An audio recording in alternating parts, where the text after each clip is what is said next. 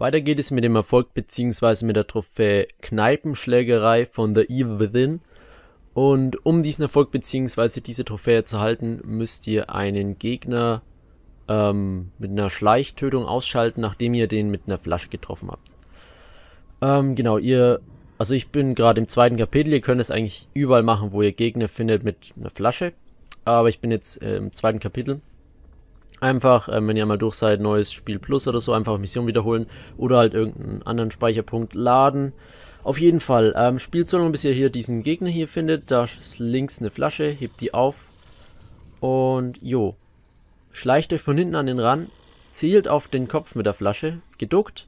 Ihr seht, jetzt könnte ich schon beseitigen, aber erst muss ich die Flasche werfen. Werf und gleich danach ähm, töten. Wenn ich zu lange gewartet hätte, gewartet hätte ähm, jo, hätte sich umdreht und ich hätte ihn einmal beseitigen können. Ich hoffe, ich konnte euch helfen. Bis zum nächsten Mal. Ciao.